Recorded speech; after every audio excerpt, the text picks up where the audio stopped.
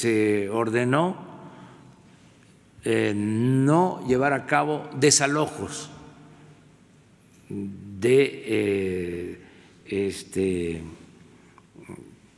familias de trabajadores que eh, habitan en casas o en departamentos, porque había esa práctica de despojo, de desalojos. No estoy hablando de hace 20 años, estoy hablando del gobierno anterior,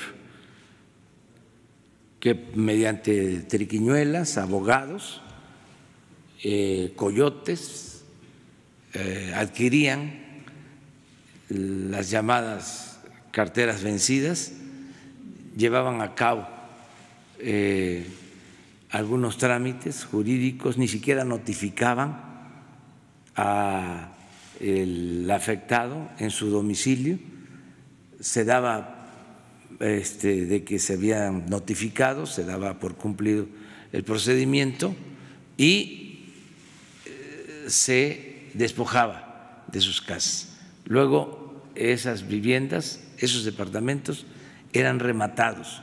Estamos hablando de miles de departamentos.